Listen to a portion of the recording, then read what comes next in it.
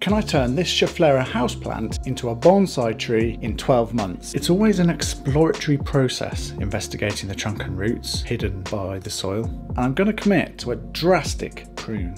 If I keep the trunk tall and straight, it will always be tall and straight, but if I cut back hard, I'm going to have multiple options in time. Hopefully we'll get back buds and then we'll be able to cut back further to give us something that looks a bit more proportional. With that work done, I'll set this tree under my Mars Hydro FC4800 and see what the tree gives us.